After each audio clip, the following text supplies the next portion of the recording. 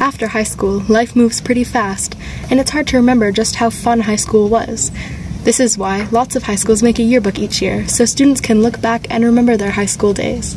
We got the chance to visit Sir Wilfrid Laurier to check out their yearbook making process. Let's go check it out. I'm Diego Rose, and we're here at Sir Wilfrid Laurier, and we're going to learn how to make a yearbook. Let's go check it out.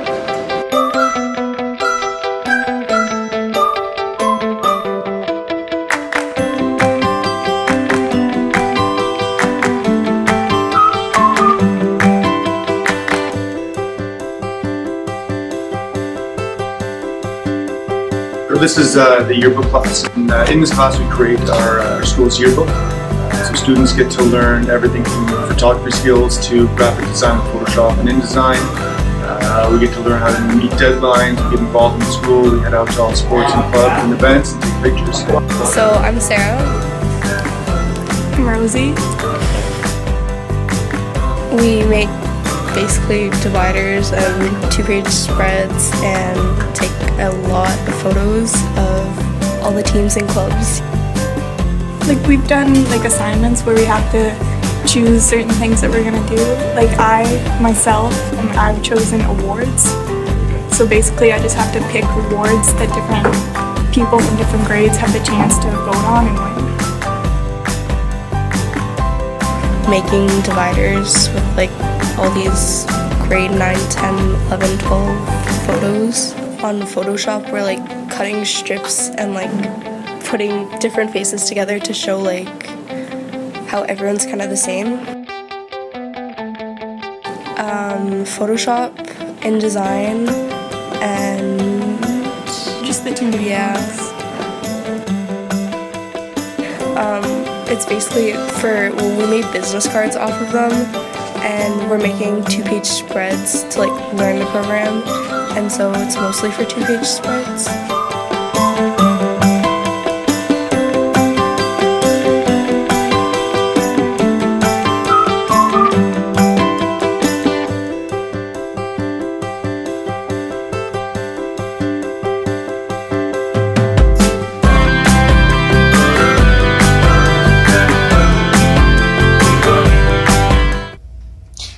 High School Happenings, we absolutely love hockey, our favorite team being the Senators. And the Senators actually just partnered up with the OCDSB with a program called Sens at School.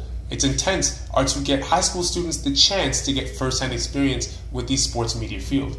Now, Kat got a chance to go check it out. Here she is at the Canadian Tire Center, your home of the Ottawa Senators. Thanks, Amaru. We're here at the Canadian Tire Center. Let's go see what's going on with the Sens at School program.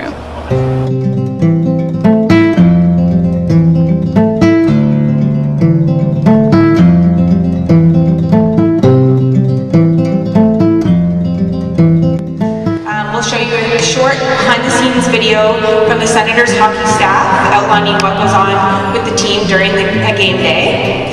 Uh, my name is Jade Fair. Um, I work for the Ottawa Senators and um, I work in the group sales. I'm an account manager in group sales. Basically, we wanted to find a way to bring in students um, without just selling us a hard ticket, giving them some kind of experience, an educational component um, to kind of give them that experience as well as the experience of going to an NHL game. So we wanted to kind of marry the two um, with a field trip concept. So this is kind of how it all spurred.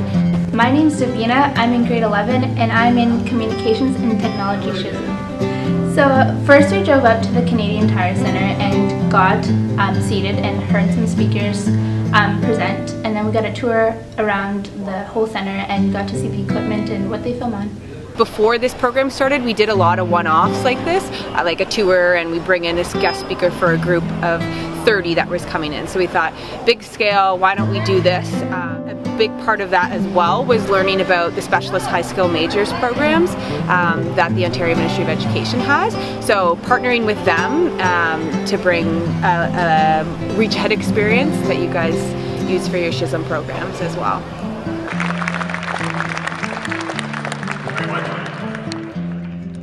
Um, we got to speak to and hear about um, people who work there and their day-to-day -day jobs and experiences and what it's like working. My name is Terry Marcotte. I'm uh, sports director of CTV Ottawa. I've been working at CTV for 28 years.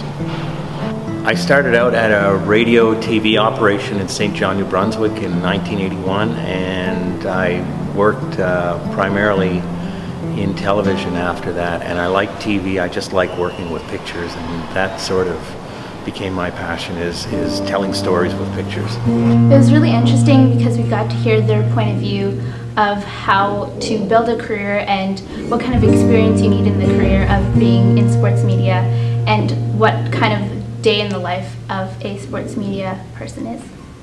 Um, it, it, it's a tough business right now. A lot of stations are cutting back, and when I started out uh, back like 35 years ago, there were lots of jobs, and uh, you know you'd start out at a small local station, work your way up, and nowadays it's completely different. You know, stations are cutting back, um, and it, it, it's tougher, but it it still is. Um, you know, there are jobs, and uh, you look at the growth of TSN and Sportsnet, that wasn't around when I was starting out. I mean, all those jobs are, are brand new. So there are jobs, you know, in the sports media and uh, in the media, and you got to be good. And uh, but if you have passion for journalism, it is a, a wonderful career.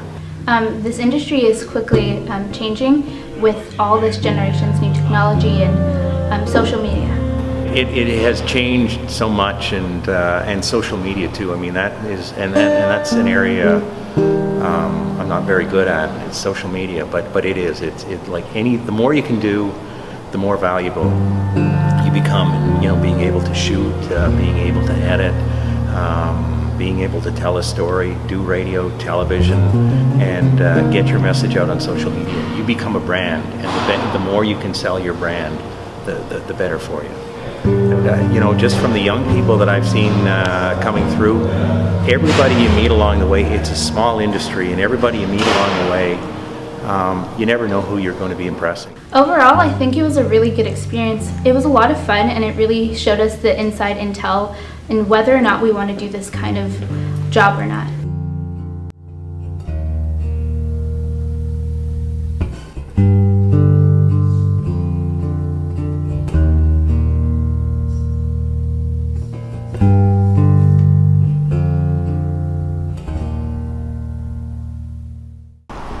Well, that's all for this episode of High School Happenings. I'm Zach. I'm Michaela. I'm Kat. I'm Amaru, and we'll see you next time.